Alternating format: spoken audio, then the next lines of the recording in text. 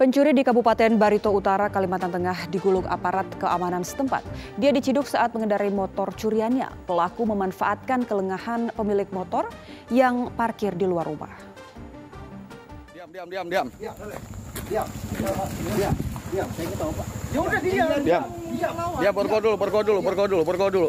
Tim Resmo Polres Barito Utara langsung menyergap pencuri kendaraan bermotor di kawasan Jalan Trinsing, Kelurahan Jingga, Kecamatan Teweh Baru, Kabupaten Barito Utara.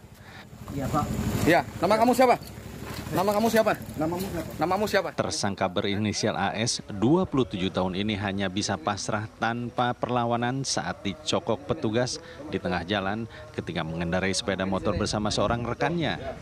Teman pelaku ini akhirnya dilepas oleh petugas karena tidak terbukti terlibat dalam kasus curanmor yang dilakukan pelaku. Kepada polisi, tersangka mengakui telah mencuri motor di Kelurahan Lanjas, Kabupaten Barito Utara pada 27 April lalu.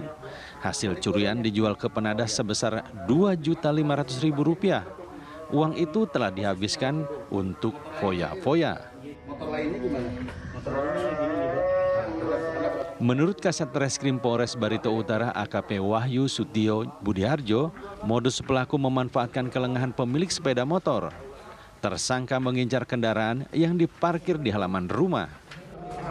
Berdasarkan informasi dari masyarakat, eh, keberadaan pelaku eh, sedang mengendarai eh, sepeda motor bersama kedua rekannya.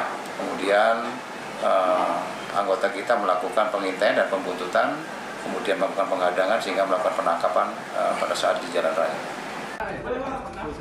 Polisi sudah mengantongi identitas penadah sepeda motor curian hasil kejahatan pelaku. Untuk menjalani pemeriksaan lebih lanjut, pelaku dibawa ke Mapores Barito Utara. Dari Kabupaten Barito Utara, Kalimantan Tengah, Didi Syahwani, TV One mengabarkan.